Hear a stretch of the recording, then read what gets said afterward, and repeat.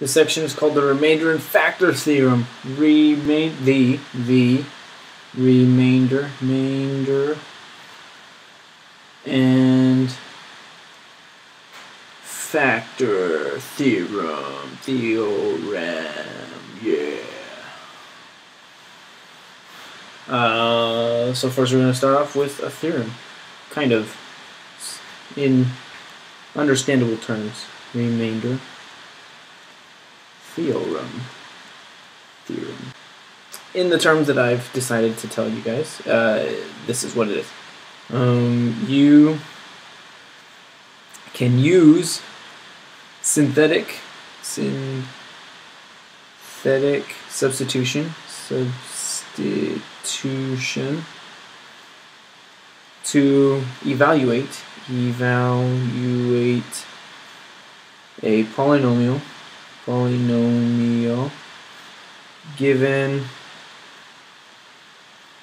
an input value. So what this theorem is saying is um, you can use synthetic division to evaluate a polynomial rather than plugging in the number and simplifying. Uh, it's just another way to evaluate a polynomial. Uh, it'll be more clear in this example. Let's hope. Example. I'm going to say that this is example 4, even though there is some in between.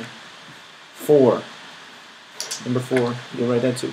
Um, so the instructions are use synthetic substitution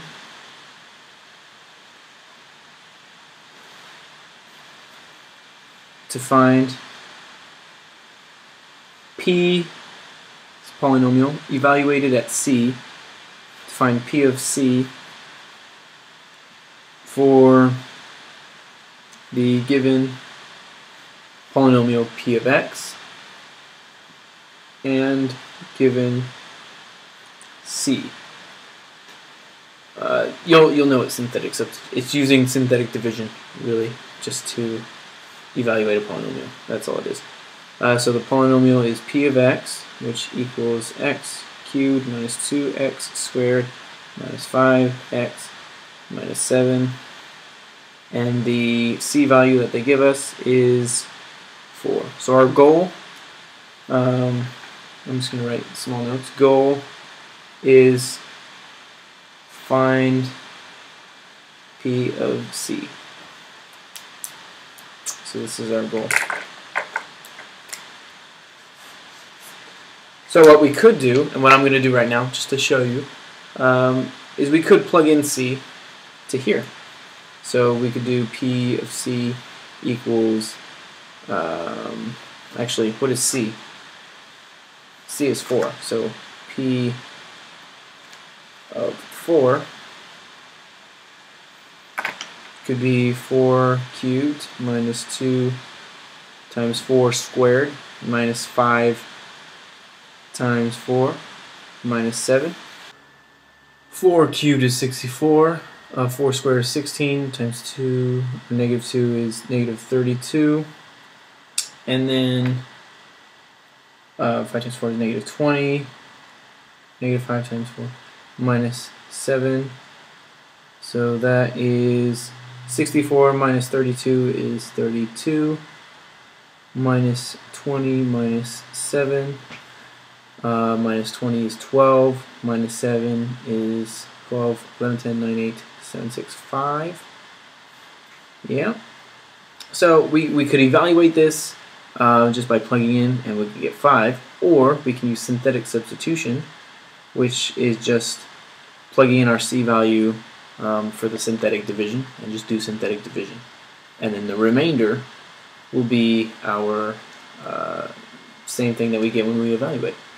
That's what the theorem is telling us. We can use synthetic sub substitution, use the remainder as what our um, polynomial would give us. And so uh, let's check to see if our things are fine. Uh, if it's in descending order, yeah. We don't need to put any placeholders in, so we can just 1, um, uh, negative 2, negative 5, negative 7, and then just do synthetic division. So bring down the 1, 1 times 4 is 4, um, 4 times, or no, I'm just adding. So this is 2, this becomes 8, so this is 3, 12, 12 minus 7 is 5. So our remainder is 5, but the theorem tells us that um, we just use the remainder as what we get out when we evaluate. So P of 4 is 5. Same thing. Yay! The light went out on my phone. Doesn't matter. You can still see. Um, don't worry about it. So these are our answers. When you when you're doing these problems, you won't have to do all this stuff. Uh, you won't have to go 64 minus 32 minus 20 minus 7. You can just do the synthetic division, which is a lot simpler math, uh, and get your answer. A lot less room for mistakes, I think. Uh, yeah. So one more example for that. Example.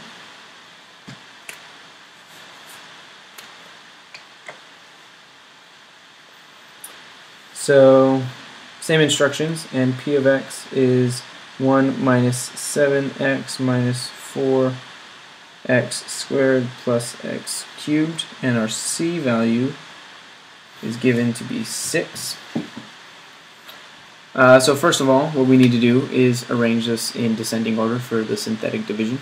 So that'll be p of x equals x cubed minus 4x squared minus 7x, we're just flipping it around, plus 1, this is a positive 1. Now we're ready to do synthetic substitution.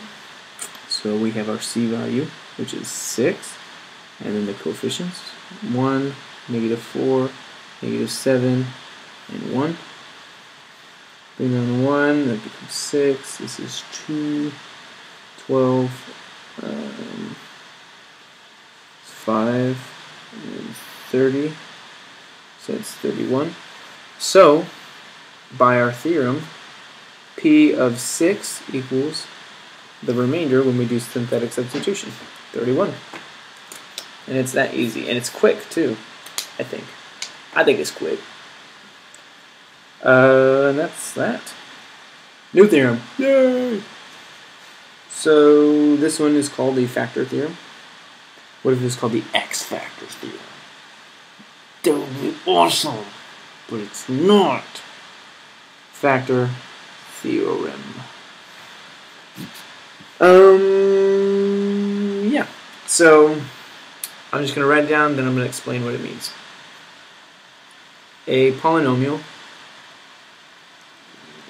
p of x has x minus r as a factor if and only if r is a root of the equation p of x equals 0. That means the polynomial set equal to 0. Um, so what is this, what, is, what does this mean? What does this mean? What is this? Ha ha ha! So this means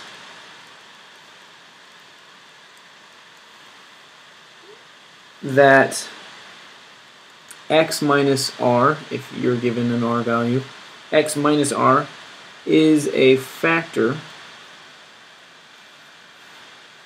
if and only if p of r equals 0. When you plug in r to your polynomial and you evaluate it, you get out 0. That's, that's what that's saying. Um, so the point of this is to use the factor theorem. So I'm going to show you how to use the factor theorem uh, in this example. Example. Uh, this one's number 5. This one's number 6.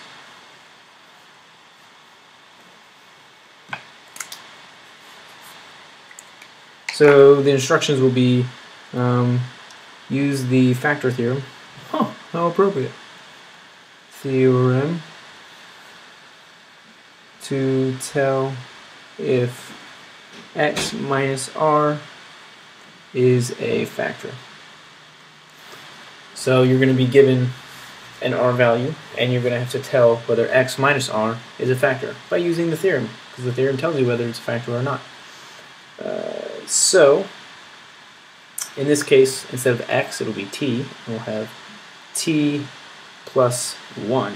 Is t plus 1 a factor of p of t equals t to the fifth plus t to the fourth plus t to the third plus t squared plus t plus 1.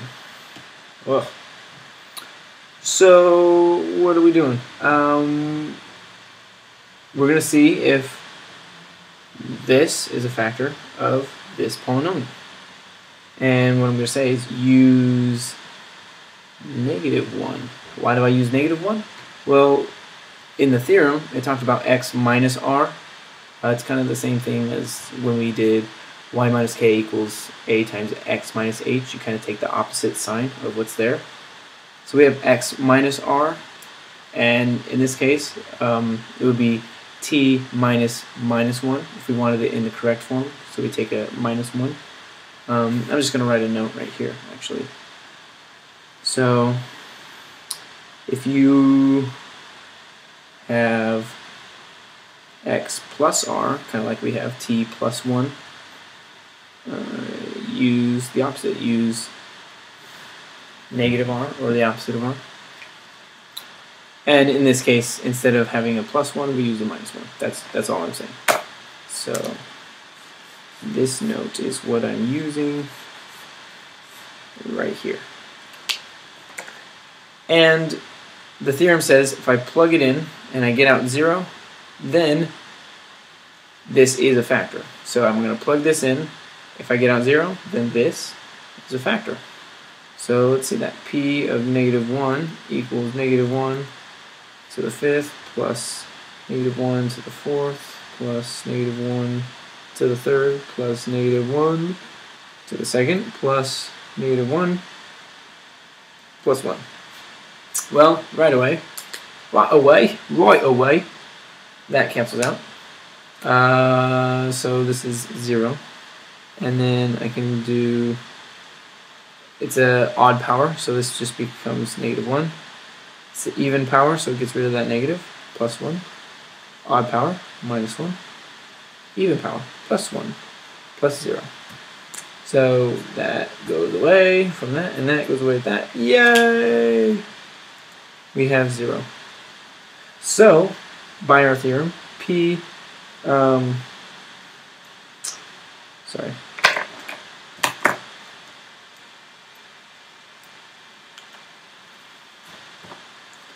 So, by our theorem, so t plus 1 is a factor, and that's my answer.